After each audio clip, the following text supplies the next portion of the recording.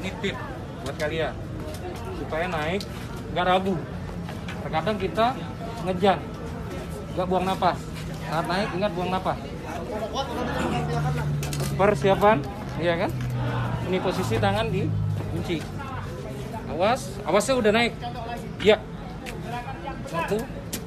Ingat. Dua. Buang napas saat naik. Tiga. Paham? Paham. Boleh seperti apa? Terserah. Terserah. Yang penting nah, naik. Buang napas di atas. Paham? Kunciannya adalah satu, dua, tiga.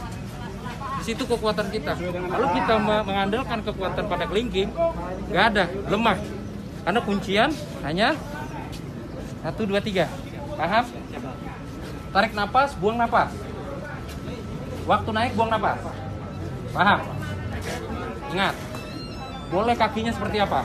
Yang penting tangan lurus dan naik apa? Melewati daripada di tiang.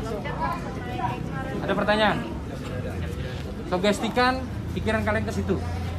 Jangan perasaan tidak mampu. Kalian punya masa otot sebenarnya. Paham? Barang satu kali atau dua kali gerakan.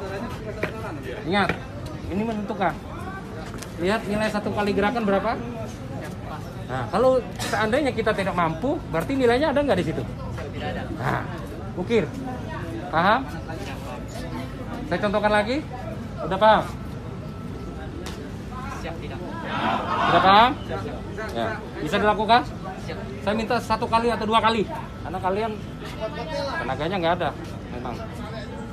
Bukan tenaga nggak ada, masa otot ada, tapi tenaga nggak ada. Yakini itu, minimal dua kali. Oke?